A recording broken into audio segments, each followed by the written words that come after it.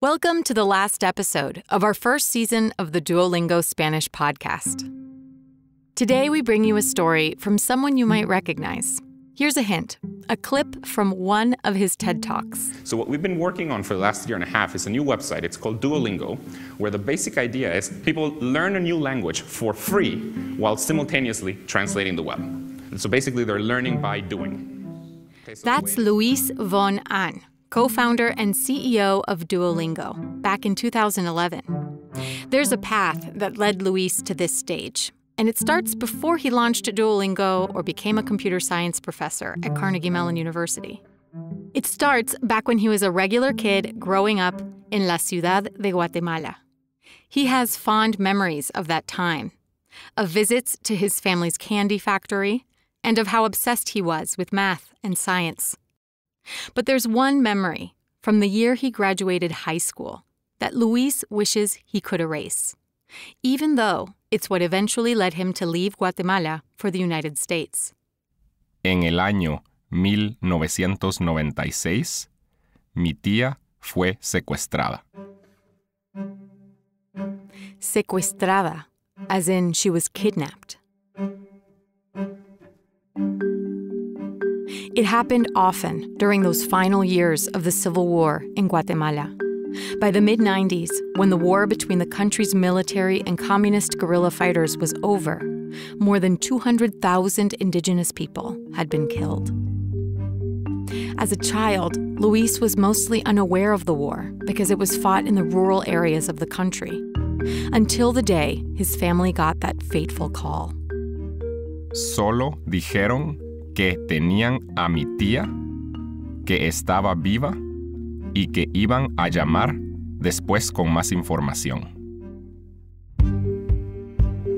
Again, welcome to the Duolingo Spanish podcast, where we bring you true bilingual stories of travels with unexpected turns, plans unraveled, and destinations unknown.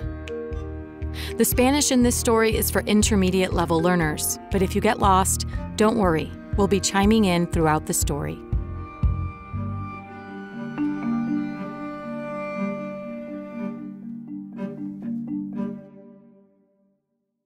Luis's aunt, whom we will call Marta, was the matriarch of the family. She was married to a colonel in the army who retired early and never got another job. Después de tener seis hijos juntos, mi tía y el coronel se divorciaron.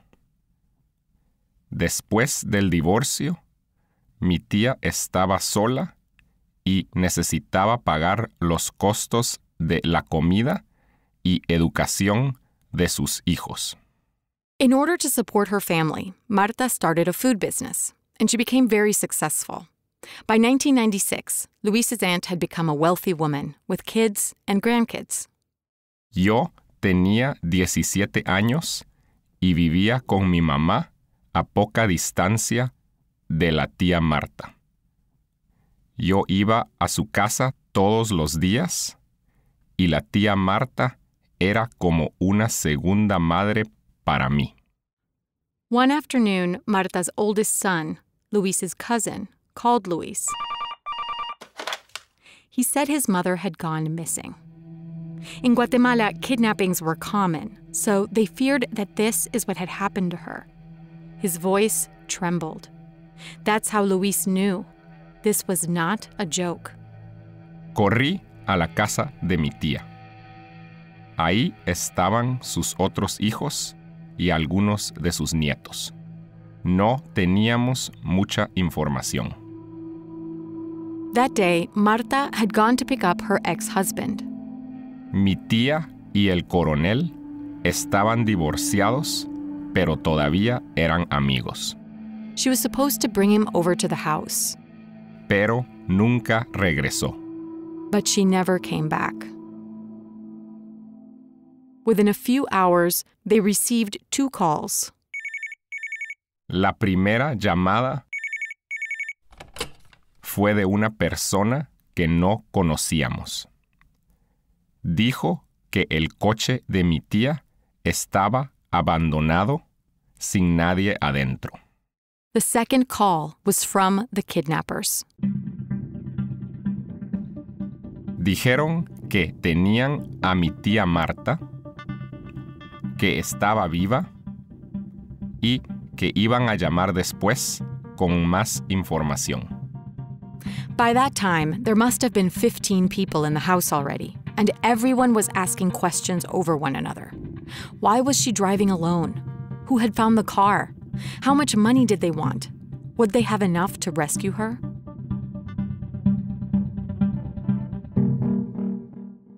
Fueron horas de peleas, gritos y lágrimas. Después, tomamos una decisión. Pedirle ayuda a los amigos militares de mi tío, el coronel. After making a few calls, Luis's family ended up talking to his uncle's friend, someone at the anti kidnapping unit with the government.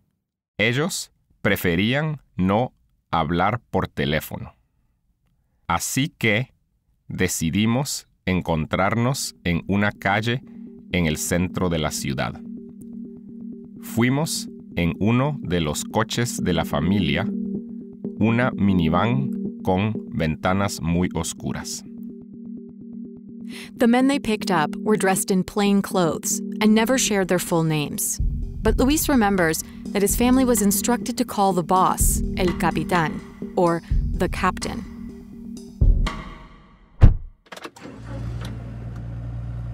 El capitán era un hombre alto y musculoso de como 40 años. No dijo mucho en el viaje de regreso a la casa de mi tía, pero nosotros le contamos lo que había pasado. Cuando regresamos a la casa, nos reunimos todos en la sala. First, the captain assured them that Luis's aunt would return alive. Kidnapping was a business, he said, and it's bad business to kill your victim. Dijo que los secuestradores iban a llamar otra vez para pedirnos dinero. And he warned them that they would have to go against their instincts. No matter what amount of money the kidnappers demand, he said, you must say it's too much and that you can't pay it. Nos dijo, si dicen que sí y pagan muy rápido, los secuestradores van a pensar que pueden pagar más. Así, van a pedir más dinero y el proceso va a tardar más tiempo. The captain said the most important thing was to choose one person who could negotiate with the kidnappers on behalf of the family. Ideally, it would be someone who wasn't too close to Marta, because the kidnappers would try to manipulate them. So they chose the husband of one of Luis's female cousins, whom we will call Juan. Juan iba a tener que pedir pruebas de que nuestra tía Marta estaba viva. Tenía que decir que no teníamos suficiente dinero para pagar lo que pedían, pero que estábamos haciendo todo lo posible para obtener el dinero. The captain was clear. The kidnappers will say on the call that they will kill Marta if the family doesn't pay the ransom quickly. They will hang up in the middle of the call and then not call back for many days to make the family believe that Marta was dead. Pero necesitábamos mantenernos fuertes, nos decía el capitán. Yo no sabía qué pensar. No conocíamos bien a este hombre. Not only had they just met this man, but Luis and his cousin picked him up with these other tough looking dudes in the middle of a parking lot, and not one of them was in uniform. Luis couldn't help but wonder could the family really trust them? El capitán dijo que el proceso iba a tardar entre 7 y 15 días. Si seguíamos sus instrucciones, ella volvería viva. También explicó que no era como en las películas. First, the family had to actually pay the ransom. There would be no SWAT team rescue. Second, the captain explained that the exchange wouldn't be in the moment. the kidnappers would say where to leave the money, and then Marta would be returned to the family several hours or perhaps even days later. Ahora sí teníamos miedo. ¿Íbamos a darle todo el dinero a los secuestradores antes de ver a mi tía? No tenía sentido. Pero no teníamos otra opción. Teníamos que creer en el capitán. That same night, the kidnappers called back. By then, Juan, the designated negotiator, was anxiously waiting by the phone. The person on the line said he was calling about Marta. Juan said he had been expecting his call and that he would negotiate on behalf of the family. Juan le preguntó a la persona cómo se llamaba. Me podés llamar tío Sam, dijo él. Después dijo cuánto dinero quería a cambio de mi tía y que si no lo pagábamos, mi tía iba a morir. Como lo habíamos planeado, Juan dijo que eso era demasiado dinero. El tío Sam, or Uncle Sam, said the family better find a way to get all of the money. Otherwise, Marta would die. Then he hung up. La cantidad de dinero que querían era alta, pero no era imposible de pagar. Entonces, algunos en la familia insistieron en pagarla toda. At that point, many family members had set up camp at Marta's house to keep her family company. So they discussed the best course of action as a group until they came to a consensus. They would follow the captain's instructions and wait. Cuando el tío Sam llamó al día siguiente, preguntó si ya teníamos el dinero. Juan dijo que era demasiado, pero que estaba tratando de conseguir todo lo que podía. También pidió pruebas de vida antes de seguir hablando. Prueba de vida, or proof of life, was essential, said the captain. Each time the kidnappers called, Juan needed to ask for evidence that Marta was still alive. El tío Sam insisted on the original sum of money they had requested, but agreed to give them proof of life. Juan le dijo al tío Sam que le preguntara a Marta algo que solo ella podía responder. La pregunta era sobre una conversación entre ella y su hijo que ocurrió un día antes del secuestro. At that point, El Tío Sam hung up. The following day, he called back and gave Juan the correct answer to his question. Marta was still alive. El tío Sam preguntó si ya teníamos el dinero. Juan le dijo que solo teníamos 10 mil dólares. Preguntó si era suficiente. $10,000 was about a tenth of what the kidnappers had originally requested. Luis and various other members of the family thought this was too little. They should offer something closer to the original amount, even if it was high. But after much debate, the family settled on this figure. They had heard that kidnapping negotiations started very far from the original asking price, similar to haggling in a street market. Tío Sam was not happy to hear this counter offer. El tío Sam empezó a gritar, diciendo que sabía que podíamos pagar más. And he hung up. They didn't hear back from Tío Sam until the next evening. He was agitated and said his bosses were losing their patience with them.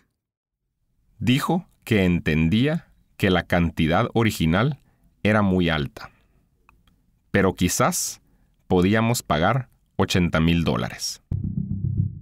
And just like that, they were back to the bargaining table. Following the captain's advice, Juan went up from the original amount, but still offered less than what Tío Sam requested. Juan le dijo que tenía buenas noticias, que habíamos encontrado más dinero y podíamos pagar 30 mil dólares. Tío Sam said no, that they needed to come up with more money immediately. Juan fue firme y dijo que eso iba a ser imposible. El tío Sam dijo, lo siento mucho, y terminó la llamada.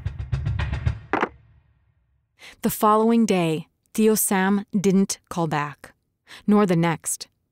Even though the captain had said this would happen, everyone started to worry they had made a mistake.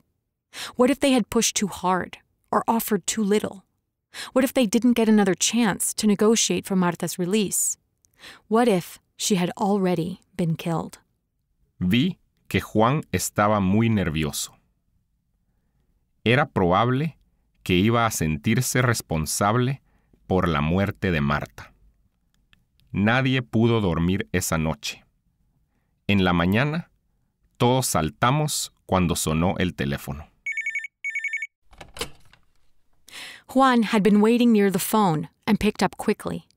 But it was just a distant cousin asking if there was any news about Marta.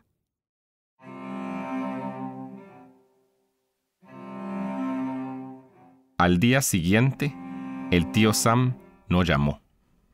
Muchos familiares se fueron de la casa. After the third day without word from the kidnappers, members of the family who had been camped out at Marta's house started to pack up their things and head home. Luis took this as a sign that they had lost hope of Marta returning alive. Yo empecé a sentir pánico. ¿Y si mi tía nunca regresa? Pero unas horas más tarde, el tío Sam llamó. El tío Sam sounded even more agitated and angry than the last time he called. Juan le preguntó si mi tía estaba viva. Y el tío Sam dijo que sí. Juan le dijo que solo teníamos 50 mil dólares. Surprisingly, Tío Sam said this was fine. He asked them to put the money in a suitcase and to leave it in a trash can in a mall a few kilometers from the house. But first, Juan le dijo que antes de pagar necesitábamos otra prueba de vida. Una hora después, el tío Sam llamó con la respuesta correcta a otra pregunta para mi tía.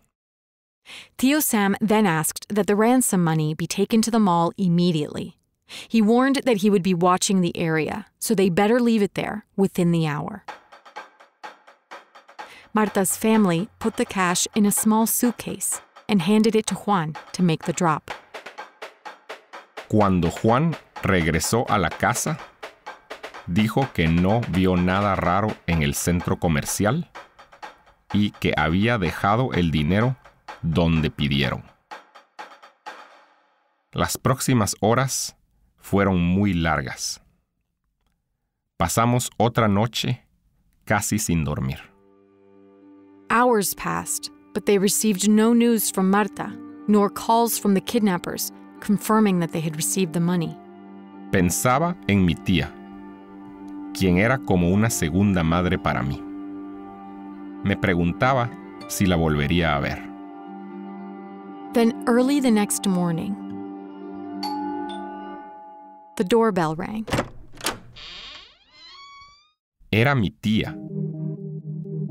Estaba viva y bien, pero muy nerviosa. Marta stood in the living room while everyone sat around, their eyes fixed on her.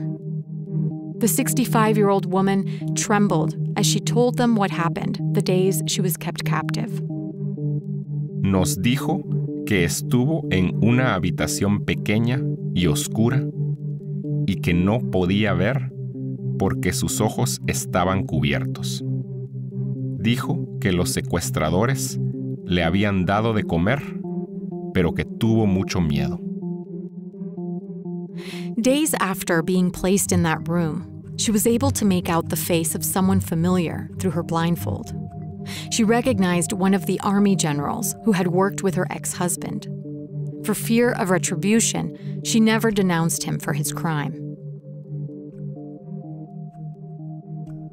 Después del secuestro, mi vida cambió.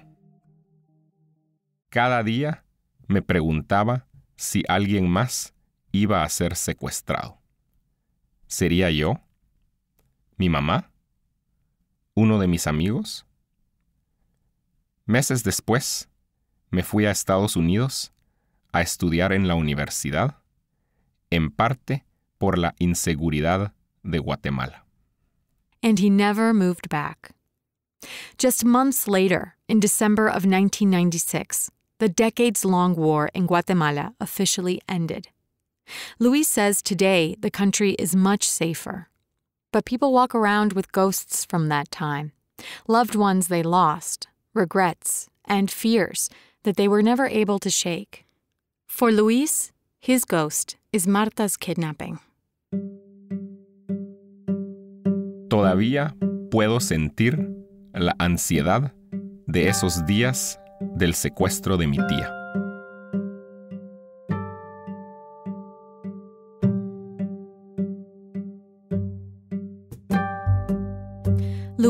Von Ahn is co founder and CEO of Duolingo and professor at Carnegie Mellon University in Pittsburgh, Pennsylvania.